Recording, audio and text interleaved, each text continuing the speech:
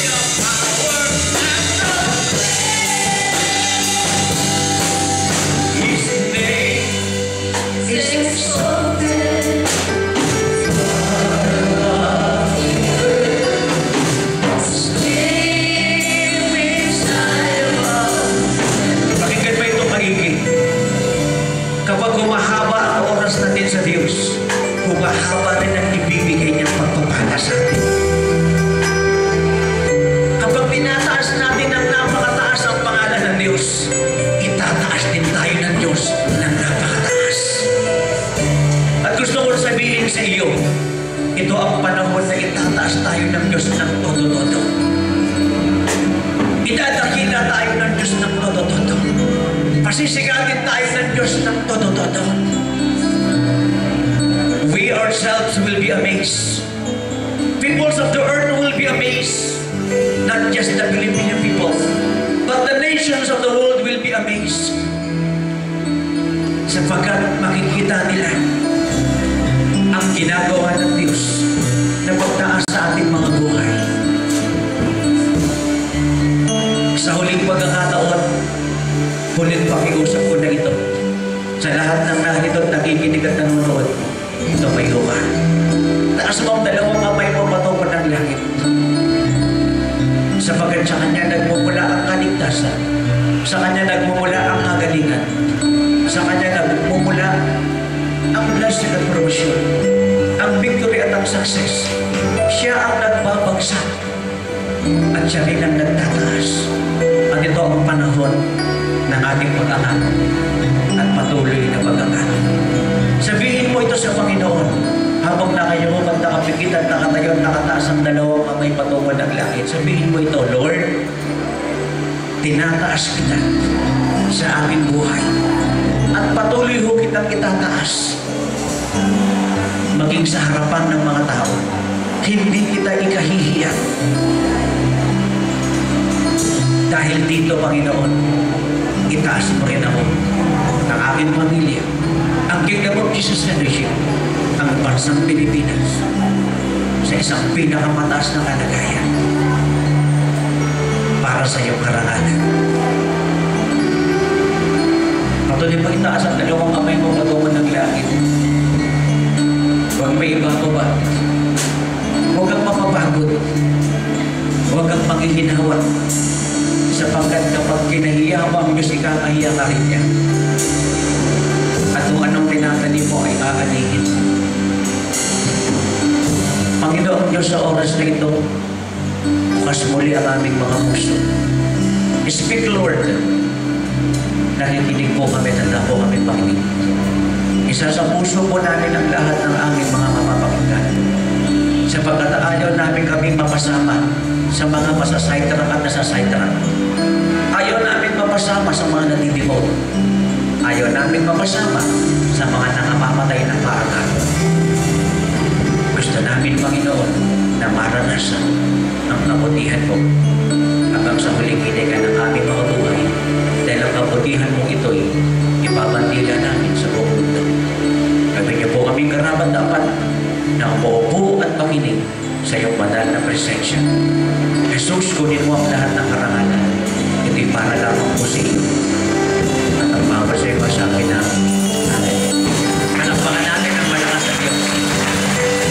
Ay mga kupo sa pangalan ng ating Panginoon. Bago po ako mag-mangaral ay pakinggan mo itong maigi ha. Huwag na huwag mo itong hindi pakikinggan. Ito ang panahon ng demosyon. Ito ang panahon ng maagang kamatayan. Ito ang panahon ng pagbagsak ng marami. Dahil sa kanilang pagsuway sa Diyos. Dahil sa hindi nila pagtanggap kay Christ bilang Lord at Savior ng kanilang mga buhay. Dahil sa pagtakas nila sa kalooban ng Lord at sa pinapagawa sa kanila ng Diyos at sa tawag sa kanila ng Diyos. Pero ito rin naman ang panahon ng pag-angat sa mga taong handang sumunod at nagbibigay ng totohanan ng buhay sa Panginoon. Amen. Sabi po ng Amos 3.7, Amos 3.7, Amos 3.7, walang magagawa ang Diyos bago mangyari isang bagay, ipapahayag niya muna ito sa kanyang mga propeta. Kaya pag naganap ng isang bagay, hindi ka na mamamangha. Masasabi natin, ay sinabi na yan, ang uh, totoong lingkod ng Diyos. Pinrapisay na yan eh. No? Nakikinig po po ba tayo? Sinabi na yan eh. No? Kaya ulitin ko ulit. Ito ang panahon ng maagang kamatayan ng marami. Ito ang panahon ng pagbagsak ng marami. Ito ang panahon ng demosyon ng marami. Dahil ayaw gawin ang perpektong kalooban ng Diyos, tumatakas sa panawagan ng Diyos. Dito dinadala ng Diyos, dito gustong magpunta. Ito ang pinapagawa ng Diyos, ito ang gustong gawin. Pero sa kabilang banda, ito naman ang panahon ng pagtaas ng Diyos sa mga totohanan magbibigay ng buhay sa Kanya. Amen. Palakpakan natin ang Panginoon. Ano ang pagkakaiba ng Migip of Prophecy sa prophet? Ang Migip of Prophecy, more on encouragement ang ipaprophesy niya. Migip of Prophecy siya. Pero pag propeta ang nagsasalita, may warning siya. Yun ang pagkakaiba ng gift of prophecy sa prophet. Kaya ang mga gift of prophecy, more on, more on encouragement yan eh. Kasi hindi naman sila prophet, sila ay gift of prophecy lang. Pero pag prophet ang nagsasalita, may warning yan. Nakikita, nakikinig pa ho ba tayo? Ano ba yung mga propeta? Ang mga propeta, sila yung mga tao, nakikinig pa ba tayo? Sila yung mga tao, nakikita nila yung hindi nakikita ng ordinaryong tao. Sila yung napapakinggan nila yung hindi napapakinggan ng ordinaryong tao. Sila yung mga kinakausap ng Diyos at sinasabi ng Diyos sa kanila kung ano yung mga mangyayari bago pa ito mangyari. Nakikinsahing ito ay pakinggan ho nating maigi. Kung kayo po ay makikinig, manunood sa mga totoong lingkod ng Diyos, mga patay pa sila, pakinggan niyo yung mga totoo talaga at panuorin yung mga totoo talaga. Ngayon, kung mga buhay pa, yan, nire-recommenda ko sila Dr. Boris Rulo. No, buhay pa yan. Kaya lang, wala na. 82 years old na at uh, mag expire na. Nakikinig pa ho ba tayo? So, napakaganda ng mensahe ngayon. At ang pamagat, pamagat muna. Yan. Yan. Yan. Yan. Yan ang pamagat. Hindi pa yan. Hindi pa. Hindi pa yan yung pamagat. Sige. Hindi pa yan yung pamagat. Nasaan na yung pamagat? Yan. Alam niyo yung kinikwento ni Sister Christy DJ kanina, ng DVD, yung pamagat nga ay uh, God wants breakthrough in your life now. Alam mo, ako ho mismo, talagang grabe. Talagang laglag yung luha sa aking mga mata. Talagang nakaupo ako, no? Tapos eh, binaptize ako ng Lord talaga. Talagang nag-shake ako talaga eh. Grabe talaga. So ito yan. Basahin natin. Lahat tayo. Be strong and courageous. Pastor, pastor, ang dami niyo na pong beses tinuro yan ah. Paulit-ulit na lang po yan ah. Kahit nga nung kam, tinuro niyo pa rin yan eh. Opo, ituturo kong muli hanggang makita na sa'yo. Amen. Hanggang makita na sa'yo. Be strong and courageous. Huwag mo kayong magagalit at masasaktan sa mga ipinapangaral. Lalo kung magkaminsan, parang ayaw, gusto mo, ayaw mo ng aral. Kaya dahil sinabi ko sa inyo na nakaraan, kung sakaling wala kayo rito, ang magagawa ho ninyo ay pag-aralan ninyo ang lahat ng mga sinasabi. Amen po ba? Ganun po yun. So be strong and courageous. Once again, we will uh, repeat this message, the message that uh, I have preached uh, a long, long time ago, and I'm gonna repeat again. At the same title, pero dalawakan ko ng konti. Be strong and courageous. At ano ang ating next? Have I not commanded you? Be strong and courageous. Do not be afraid. Do not be discouraged. For the Lord your God will be with you wherever you go. Have I not commanded you? Be strong and courageous. Do not be afraid. Do not be discouraged. For the Lord your God will be with you wherever you go. Alam mo, ang kausap niya ni Joshua, si Lord mismo. At ang sabi ni Lord sa kanya, hindi ba pinag-uutos ko sa iyo? Magpakalakas ka. Magpakatapang ka. Huwag kang matatakotin. Huwag kang uh, manghihina. Sapagat ang Panginoon mong Diyos ay kasama mo kahit saan ka magpunta. Pakisabi natin, kasama ko ang Diyos. At kapag kasama natin ang Diyos, ay sigurado ang ating tagumpay. Yan natin yung intro. Yan.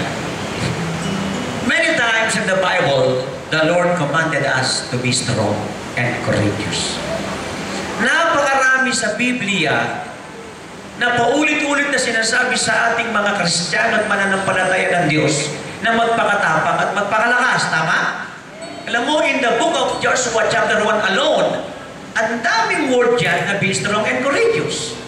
Mula Old Testament hanggang New Testament, ang daming word na be strong, be bold, no?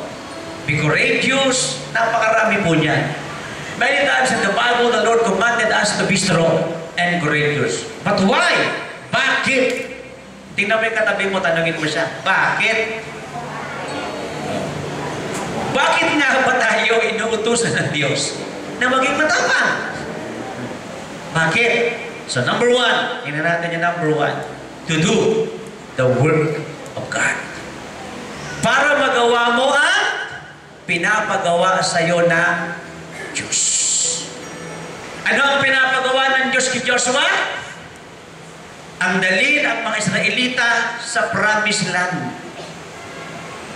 As a leader of Israelites, of, of, of the nation Israel, he will bring the Israelites into the promised land. Into the land that, that is rich in milk and honey. Flowing with milk and honey. So number one, para magawa mo ang gawain ng Diyos. Kaya kung hindi mo pa ginagawa ang gawain ng Diyos, gawin mo na. Kung hanggang ngayon ang ginagawa mo ay gawain ni Satanas, iwan mo na. Kung iniwanan mo yung gawain ng Diyos, balikan mo. Amen. At kapag ginagawa mo ang gawain ng Diyos, kinakailangang magpakatapang ka. Sapagkat hindi mo magagawa ang gawain ng Diyos, and that is the will of God, kapag hindi ka matapang. Nakikinig pa ho ba tayo? At anong sabi ganon in the book of 1 Chronicles 28.20? David also said to Solomon, his son, Be strong and courageous and do the work.